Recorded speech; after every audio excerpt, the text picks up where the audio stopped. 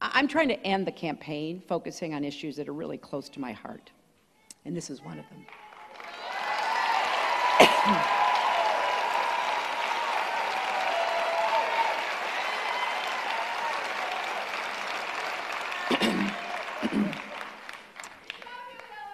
Thank you.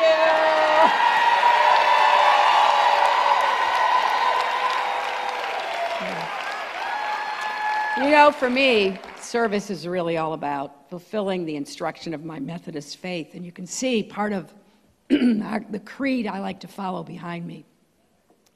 Do all the good you can, in all the ways you can, in all the places you can, at all the times you can, to all the people you can, as long as ever you can.